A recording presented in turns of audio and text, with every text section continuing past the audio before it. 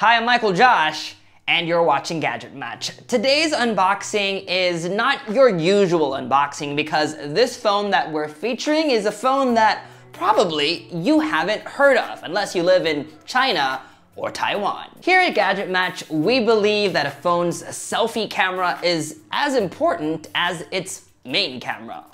Right, Isa? Yes, of course. Even if they don't take as many selfies as I do, a good selfie camera is very practical. I agree, but let's not keep them waiting. You do the honors.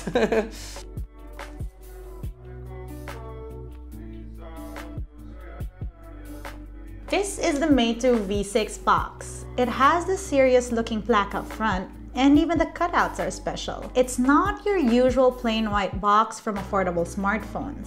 Okay, let's lift the lid up.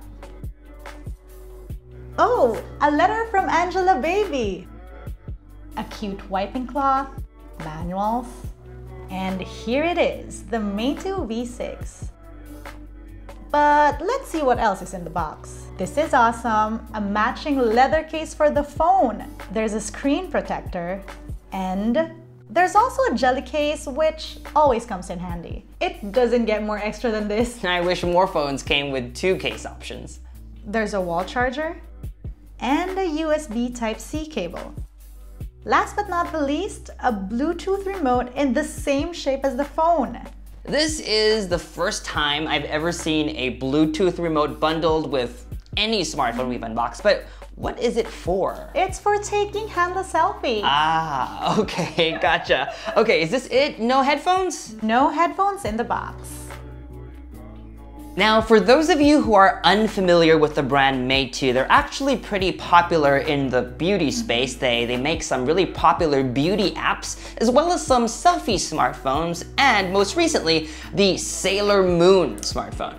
But the V6 is their latest and probably the best one they have so far. First thing you'll notice is its irregular shape. You know what it reminds me of? That Exilim selfie camera from Casio a few years ago. But that one looks like a point and shoot camera. This one, it's definitely more than just a phone. It's a fashion statement, an accessory you can add to your OOTD. It's got hand-stitched calfskin leather on the back and 18K gold-plated rivets. So what do you think about this color? Well, this phone actually comes in four colors. Edinburgh blue, Melbourne green, Monaco pink, and Rotterdam orange. All travel themed. Now, we got the orange one and I honestly wasn't such a fan of it when I first got it, but it's a color that has grown on me. Even if it doesn't match your hair? Even if it doesn't match my hair, it's such a bold color. It's a standout and everyone notices. It's a statement phone.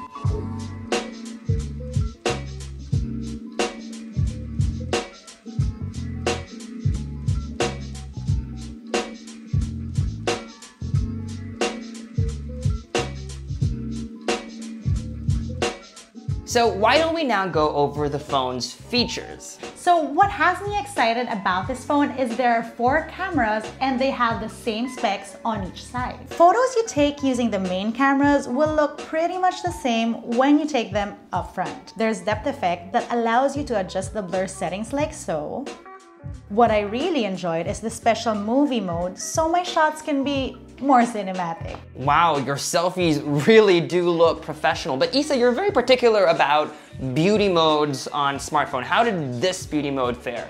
Well, I really am, and I like this phone's implementation. You have a choice from 1 to 7, but fair warning, the airbrushing can be too much. I only ever dared to go as far as 1. I also love that the beauty mode is available for video, so I can look fresh on all my vlogs. Not all selfie phones have that. Now, us techies don't really appreciate bloatware, but this phone comes pre-installed with a lot of Meitu apps, and I feel like you actually like them. Well, you know, bloatware in general isn't fun, but these apps are apps that you can use to edit your photos, add filters, and these are apps that I feel like you're gonna download and use anyway. They're a lot of fun. My favorite is this one where you can add makeup and change your hair color. Okay, now that's what I've gotta try. How do I add the blue hair? Okay, I think I want this color, so I match the Huawei P20 Pro. And of course, pairing the Bluetooth shutter is so easy. It has a built-in app. See Josh, pre-installed apps aren't that bad. At least in this case. Mm-hmm. The V6 has everything else that make it a capable daily driver. It's not just a selfie camera. Face unlock is surprisingly accurate even in unusually challenging scenarios. Fingerprint sensor here.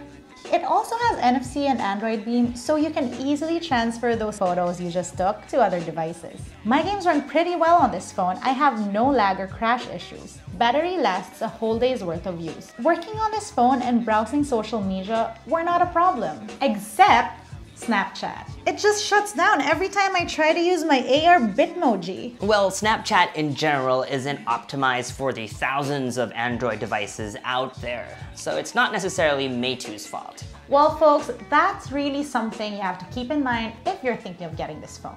So, is the Meitu V6 your gadget match? Is it your gadget match? You seem to have really enjoyed using this phone. I definitely did. This phone has the most detailed beauty editing features and selfie specific functions I've ever seen on the phone. It's the type of device that you don't just get for your usual everyday tasks, but also because it's an accessory like a handbag. Like a true luxury smartphone, it will cost you around $800. That's if you can get it. There's still no news if the phone will be available outside of China and Taiwan. Only special people like Isa get it. It's not for everyone. If you want to step up your selfie and OOTD game, then it's definitely worth checking out. And that was our Meitu V6 unboxing and review. For more videos like this one, you know the drill folks, subscribe to our YouTube channel, like our Facebook page, follow Gadget Match on social media, and make GadgetMatch.com your daily habit. And if you want to read more selfie smartphone reviews or read about more lifestyle tech stuff, you can visit hergadgetmatch.com or check us out on Facebook. That's facebook.com slash hergadgetmatch. We'll put all the links below. Until the next video, I'm Michael Josh. And I'm Isa. Thanks for dropping by.